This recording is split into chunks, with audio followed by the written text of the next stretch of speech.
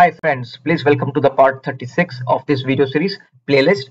We are looking at real certification questions. Today again we will look at five more important real certification questions. Now for some of you who don't know there is a join button below the video. Please click the join button. This helps you to pay a small amount as a subscription to become a member but there are a lot of benefits you get some additional content which are very important to clear your concepts as well as clear your certifications around cloud do not forget to hit the subscribe button. Subscriptions helps me a lot to understand the pulse of the audience as well as it will help you stay tuned to the latest certification contents around azure gcp and aws so let's jump into the questions. This question is asking about that the virtual machines that are running on a data center what happens to it if it fails if the data center fails? Okay so the solution also they have given. You will get such questions in the exam where they will give you the problem they will give you the solution. You just have to say whether you conquer with the solution. If you conquer click yes. If you do not conquer click no.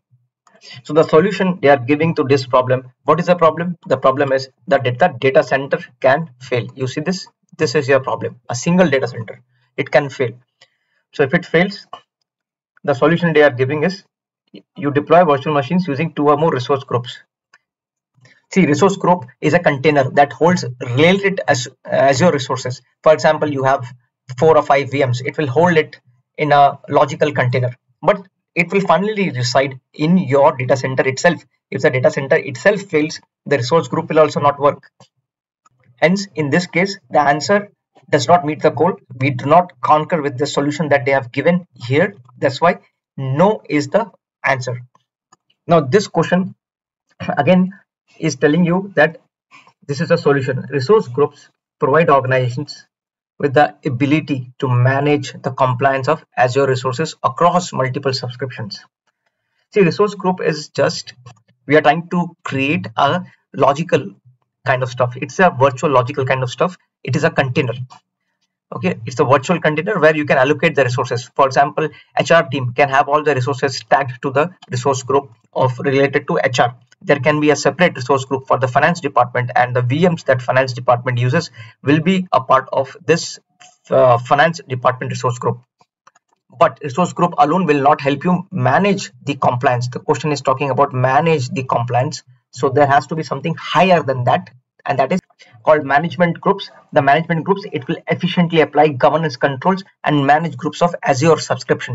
So you can create a group of your subscriptions. You can apply policies and access control to any service. And that is what we want here. So this would be my answer.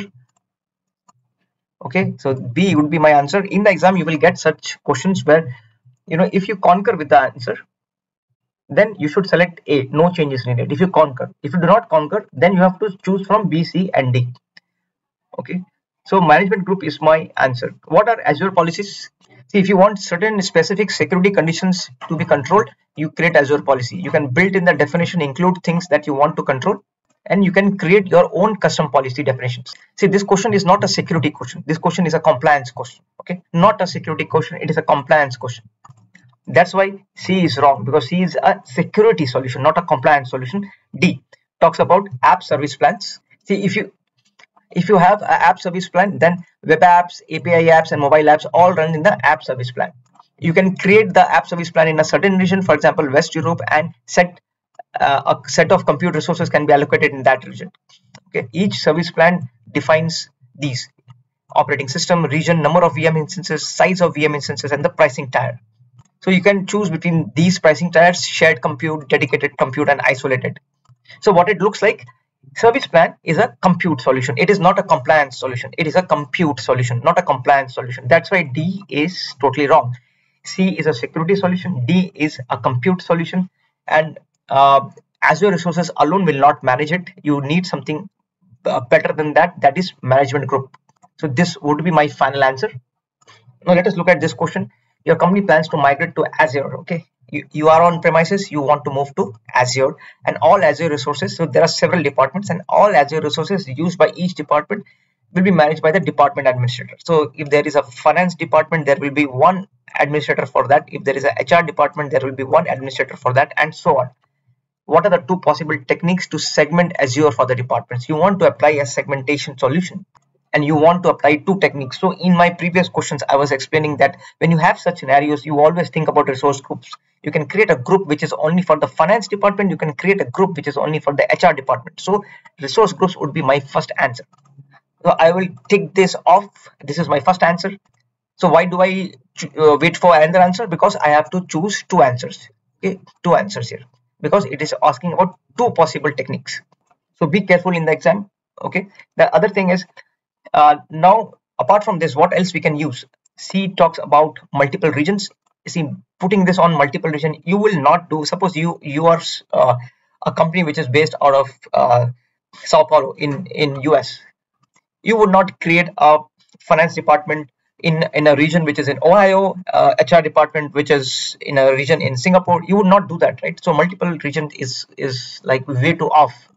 So i would strike this out. This is the wrong answer let us talk about multiple azure directory ad directories.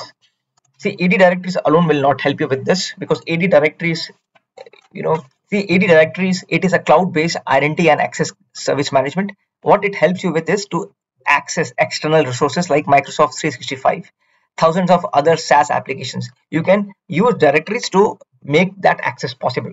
It will not help you with structuring your departments and resources. It will not help you that leaves us with just one more option and this would be my answer that is multiple subscriptions because subscriptions you can you can very well do it. You can have multiple subscriptions one subscription for hr department one for finance department one for it teams one for sales teams and one for like sustainability teams and so on.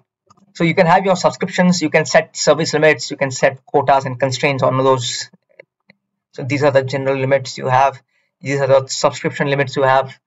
So these two are my final answers so this is asking a question around a single Microsoft account can be used to manage multiple Azure subscriptions. Yes, you can have one account, but within that account, you can have multiple Azure subscriptions. So what is the difference between subscription?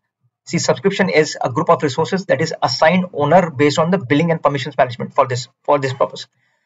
Primarily for finance department, for HR department, we set up separate subscriptions. But an Azure account, if you see this, it represents billing relationships and Azure subscriptions help you organize the access to the Azure resources. This is the difference between Azure account and your subscriptions. So for the account, you have account administrators, you have service administrators, you have co-administrators. So if you see, this is a very important thumb rule. Only one account administrator is assigned per account. One account can have only one administrator. Okay, that is important.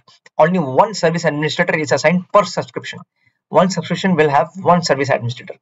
And there can be multiple co-administrators. So there can be multiple co-administrators assigned to subscriptions. This is very important.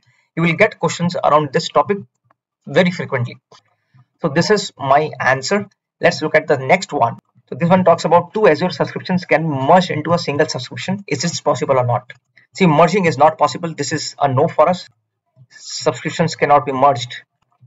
And the third one says a company can use resources from multiple subscriptions See, that can be possible.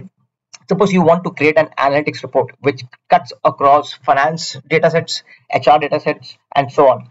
So, so if you have uh, multiple subscriptions, one for finance, one for HR, it doesn't mean you cannot cut across. You can still access those datasets from those databases in those subscriptions. So this is still yes. In the real world, we keep doing it. There will be multiple subscriptions and we want to access, suppose you want to create a data warehouse solution you will get the ingestion happening from the finance teams, finance systems, from the sales systems, from the HR systems, from the IT systems, and so on. So this is my final answer. See, in this question, you have an Azure environment that contains multiple virtual machines. So you have multiple virtual machines. You have multiple virtual machines, and you plan to implement a solution that enables client computers or on-premises network to communicate to virtual machines. So you have your virtual machines on Azure environment. These are your virtual machines and this is your AZ Azure. And then you have your on-premises here, OP that is on-premises and you want to access these virtual machines, communicate to them. You need to recommend Azure resources which must be created for the planned solution. So out of these, which Azure resources should be used? Two of them, you know, you see this, you want two answers. So the first thing you see load balancer, load balancing is load balancer is used to balance the loads. If you have a web application on sitting on this VM, then you can plug uh, load balancers. Load balancers will not help you with communication between on-premises and cloud. So this is wrong. Now let us look at application gateway. What is application gateway? It is still a load balancer but a web traffic load balancer. This question is not about any load balancer. So we will mark this wrong okay? So we have eliminated two we just want to eliminate one more. So we have a virtual network a gateway. So we don't want a virtual network because a virtual network will not help you with you know communication for this. What you need is a virtual you need a gateway. You need a virtual network gateway and a gateway subnet. So virtual network gateway would be my first answer. So you see a virtual network gateway it comprises of two or more VMs that are automatically configured and deployed to specific subnet. These subnets are called gateway subnets. This is our second answer, gateway subnets. You see this gateway subnet. This is our second answer. So the gateway VMs they contain routing tables and specific run information. You can you cannot directly configure the VMs that are part of virtual network gateway. Although the settings that you select when configuring your gateway impact the gateway VMs that are created. Okay, so this is an important documentation you should refer to there is also something called VPN gateway just as an FYI it helps you communicate between on-premises using public internet and cloud okay? So if you don't want to set up a dedicated network then you can use this. It will route your traffic through internet connections but it will create tunnels in between so that it is secured. So these are my two final answers. I have also shown you the documentation proving that these are correct. So please hit the subscribe button do not forget to hit the join button. It will help you pay some small amount as subscriptions but become a member and you will gain access to wealth of information. So this was part 36 we will post many more such parts. We are just discussing real certification questions. See you in the next part